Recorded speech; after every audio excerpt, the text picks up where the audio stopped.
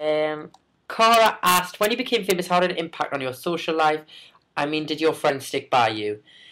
Yeah, my friends have been absolutely. My friends and family have been absolutely amazing. Um, and I couldn't have, I couldn't have probably got through all of the, the stuff that I've done, if if it wasn't for them. Because you know what, you, you need somebody, you need you need a, a big, well, quite a big group of people that you you know you can go home and see you've had a bit of a rubbish day or you you didn't get on with this person or that person and you know you need somebody to vent at. You know it's normal that you so and you need people that you can trust and aren't going to kind of tell the whole world how you're feeling and I've got that with my friends and family and that's why I love going home so much and that's why I always made the decision to live there because it was just I needed to be around them. They're the most important people in my life so that's that's I just love them a bit Amy, if you could only eat one food for the rest of your life, what would it be?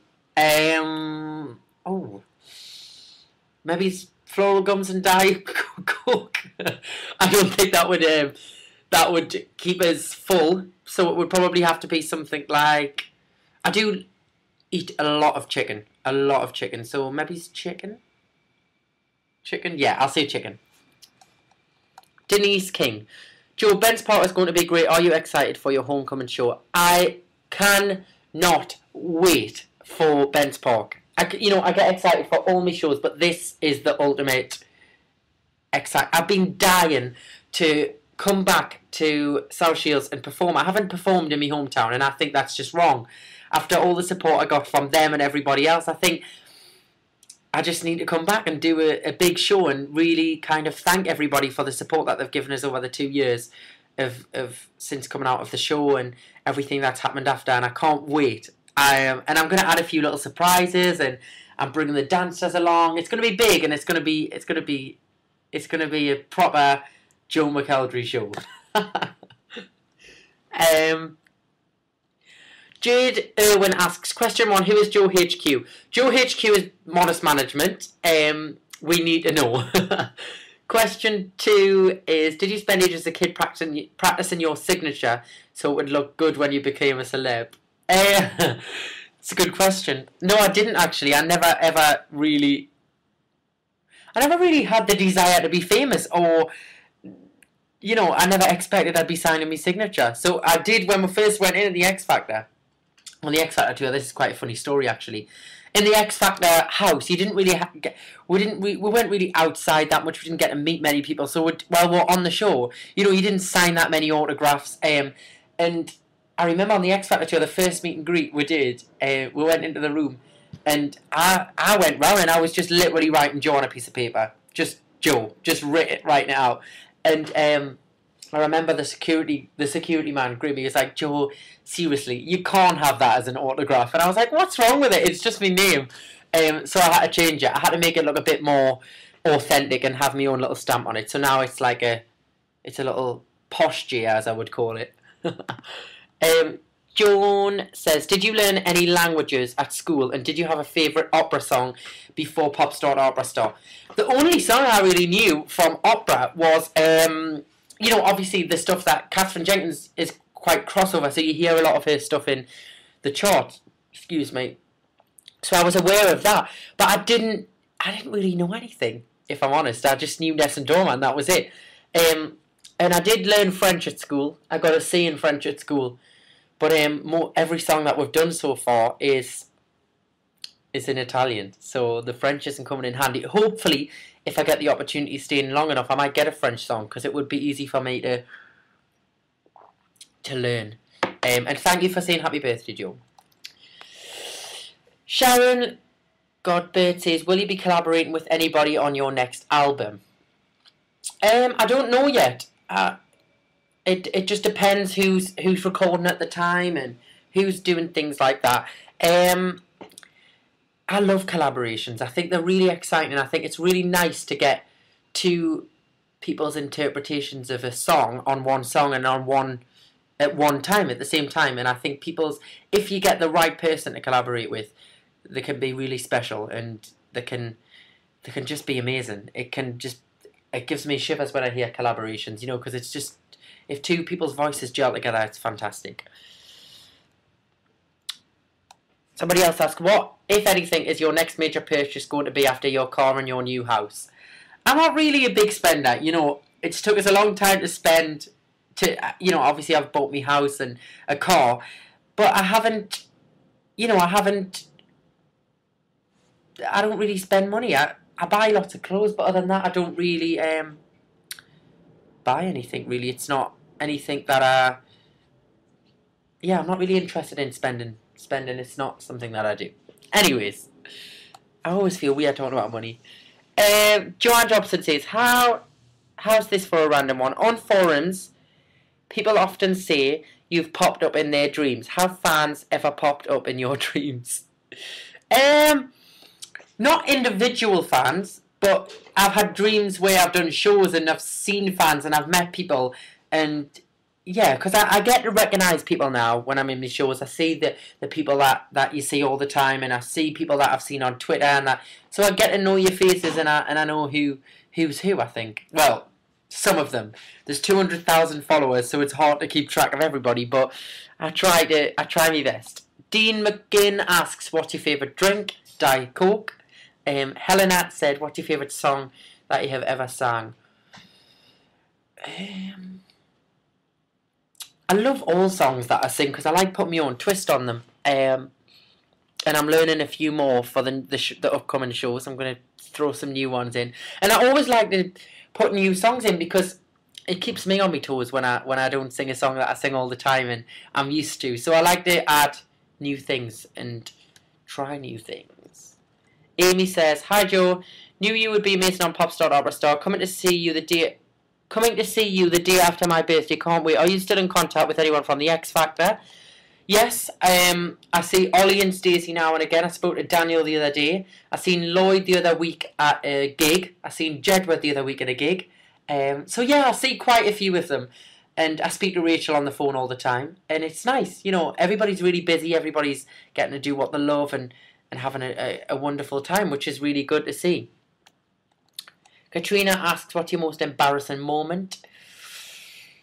I don't even know that, you know. Um, embarrassing moment. I, well, I fall over all the time. I fell over in a lift a couple of months back in Manchester in front of a football, I think it was Manchester City football team. I tripped over a case and tripped over the case, fell into the lift and smacked my face off the back of the wall in the lift and I was stuck between the case and the wall, and just the lift doors were closing. I could just see all this football team laughing their head off at us. That was quite embarrassing. Had a train door shut on my head a couple of months back. Um, it whacked us in the face. I was t- I was rushing to get on a train and bang, smashed us in the face. That but it didn't hurt. Um, and actually, just at the weekend, um, I went to see some relatives who live outside of London and I sat on their garden chair outside. We're having a barbecue, and the whole chair collapsed. You know, I must have been too heavy for the chair, and a bit of wood stabbed us in the hand, and I cut my hand. It wasn't good, but it was quite funny. I wish I had a got it on film. It could have been on You've Been Framed. Um, Leslie said, Hi Joe, hope your Nan Hilda is okay. Did spot her in the audience at Opera Star. Yes, she is fine. She's um she loves coming down to hang on, I've lost let me see what's going on here. Oh there, there got it. Um she loves she loves coming down. She just loves coming to watch it and she, she loves being in the studio, but she can never understand why they they film her and I'm like, Grandma, they're just filming you for a reaction on the telly and she's like, Well I didn't see a camera anyway which is uh, just funny. um Haley says, Would you ever like to do a duet with Cheryl? Um, yeah, you know, I love Cheryl. I really admire what she does in her work. I love her music, so why not? You know, it would be it would be great. Um, happy birthday to Laura L J ninety one. Um, I'm just looking at the questions. They start flicking down really fast now when I refresh it. Hang on. Somebody asks, "Would you like a, a birthday wish? A birthday um, a birthday hello from Beyonce. That would be nice. Um, what would you like to call your next album? Says Top Secret 73. I don't know. Maybe I could have a competition and you guys could choose it. We'll see. Um,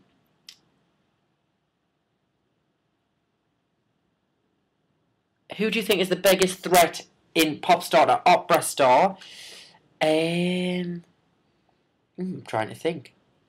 I think everybody's really different, and I think everybody has their own fan bases. Everybody does different styles of music, so it depends who tunes in and watches the show. And I, I think everybody's doing a really, really good job. You know, it's they're they're doing so well, and I kind of wish everybody the best of luck. And I'm just going to try my best and see what happens. You know, that's all I can do.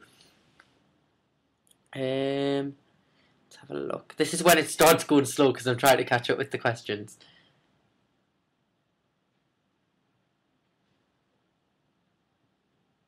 Somebody said, "Will you be in Birmingham soon?" I hope I'll be back in Birmingham soon. And would you do a duet with Jedward? Uh, I absolutely love Jedward, um, but I'm not sure our music taste would match. Um, I just, I just enjoy watching them perform. They absolutely crack me up. They're just hardest working guys ever, and you know they're great. They're absolutely great. Siske Enrique asks how was Take That. They were absolutely amazing. The atmosphere in the stadium was so good. You know, everybody was singing the songs and I kind of I was a bit jealous. I wanted to just get up there and sing with them because it was just it looked absolutely amazing. Courtney McKean says, "Can I have a shout out, please?" Hello, Courtney. Um, do you watch the X Factor in France? That's from Daria Zapparoli. Um, I don't. I've never seen X Factor in France. I don't know. I've never. I, I don't know whether we get that on TV over here. But if I'm gonna have a look on YouTube now and have a look. Um, are you going to be following fans on Twitter? Yes. I'm starting to do that now. Uh, I haven't done any for a couple of days, but I will start doing them again and start following you guys and getting that done. Um,